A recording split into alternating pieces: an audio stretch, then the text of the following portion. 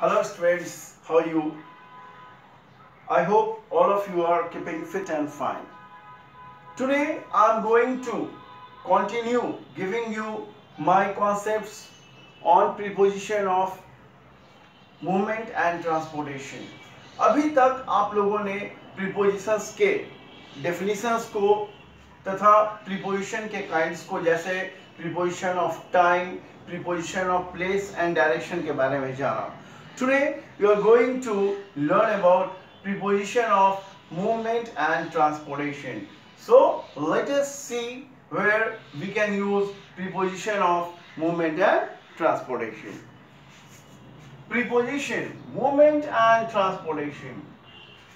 हम लोग preposition, movement and transportation की तरह preposition का प्रयोग करते हैं on, in and by. There are only three prepositions that we can use as prepositions of movement and transportation.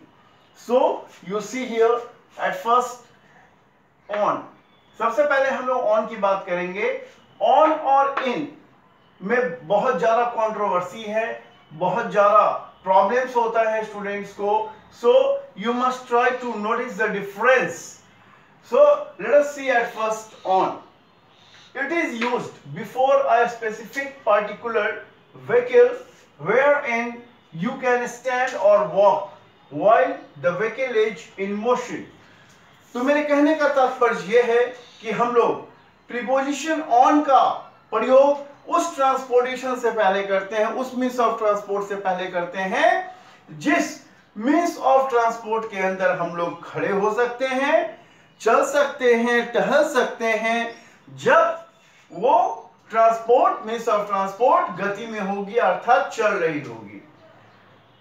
When the means of transport is in motion and we can stand or walk, there we can use on वहाँ हमें on का प्रयोग करना होता है। Raj is on train going to Patna. Raj train पर है, पटना जा रहा है। सो आपने देखा यहाँ पर ट्रेन ट्रेन एक बहुत बड़ा मीन्स ऑफ़ ट्रांसपोर्ट होता है. It's so spacious where we can stand we can walk so ऐसे सारे मीन्स ऑफ़ ट्रांसपोर्ट के पहले जब वो मीन्स ऑफ़ ट्रांसपोर्ट चल रहा होता है, हम लोग खड़े हो सकते हैं, चल सकते हैं. वहाँ पे हम लोग ऑन का प्रयोग करते हैं. ऑन का एक दूसरा कॉन्सेप्ट भी है. We use on before, most of the vehicles which are totally or partially open to air. हम लोग देखते हैं, बहुत सारे खुले हुए मीन्स ऑफ़ ट्रांसपोर्ट को, जैसे बाइक बाइक पर हम बैठते हैं then then it is an open means of transport ये खुला हुआ है। हम लोग पैदल की बात करें अगर ऑन फुट तो अगर हम पैदल चलते हैं then we are expose in the air हम लोग हवा में होते हैं। उसी तरह बाइक साइकिल एनिमल्स की पीठ पर like on a horse on elephant and so on तो जब हमें लगे कि कोई मीन्स ऑफ़ ट्रांसपोर्ट पूरी तरह से खुला हुआ है there is no boundary and and it is not surrounded with any boundary and all then there we can use on वहाँ भी हम लोग ऑन का प्रयोग कर सकते हैं। let us see some example. I go to school on foot. मैं अपने पैरों पर विद्यालय जाता हूँ, पैदल विद्यालय जाता हूँ। He goes to market on his scooter आइए, अब हम लोग प्रीपोजिशन इन के बारे में जानते हैं। In it is use before vehicles in where we can sit only we cannot stand और वॉक इनका प्रयोग हम लोग सारे मीन्स ऑफ़ ट्रांसपोर्ट से पहले करते हैं, जहाँ हम सिर्फ़ बैठ सकते हैं जब वो मीन्स ऑफ़ ट्रांसपोर्ट गति में होता है। चल रहा होता है, वहाँ हम सिर्फ़ इनका प्रयोग करेंगे, जहाँ हम सिर्फ़ बैठ सकते हैं। वी कैनॉट वॉक और we cannot stand like in a car car में आप खड़े हो सकते हो क्या? कभी नहीं।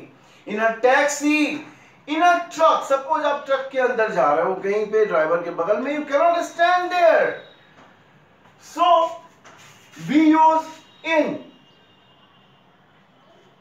there example he goes to school in his car वो अपने कार में विद्यालय जाता है।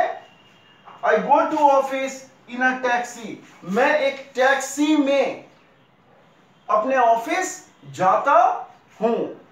तो आप लोग याद रखोगे ऑन का प्रयोग हम लोग करेंगे उस मीन्स ऑफ़ ट्रांसपोर्ट के पहले, जहाँ हम लोग खड़े हो सकते हैं, चल सकते हैं, जब वो ट्रांसपोर्ट गति में होगा, चल रहा होगा।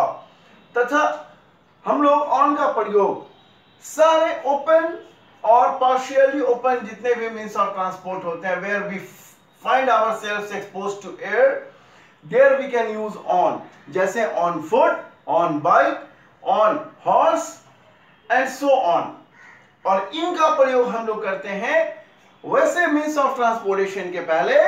जब वो मीन्स ऑफ़ ट्रांसपोर्टेशन गति में होता है तो हम सिर्फ़ बैठ सकते हैं। वी कैनॉट स्टैंड और we cannot walk there so keep these points in mind now, let us see about preposition by चलिए हम लोग अब by के बारे में जाने। आइए अब हम लोग प्रीपोजिशन by के बारे में जाने।